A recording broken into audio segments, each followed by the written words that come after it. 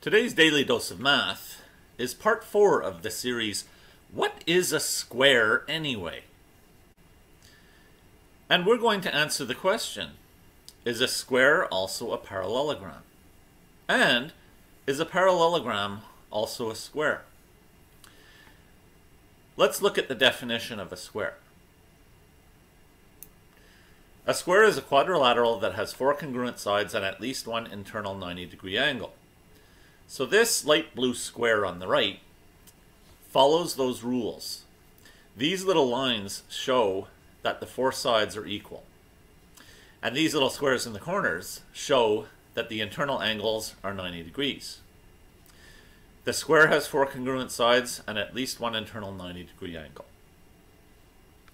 But the parallelogram, the purple shape on the left, has two pairs of opposite congruent sides, but it does not have four congruent sides, or it does not necessarily have four congruent sides. And this one does not have any internal 90 degree angles.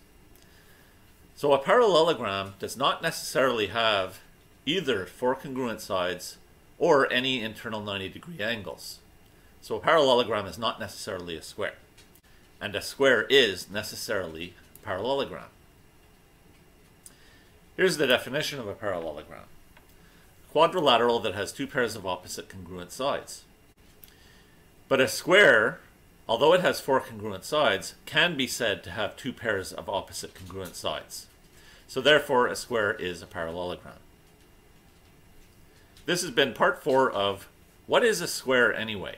Today's Daily Dose of Math. Please like, subscribe, and share.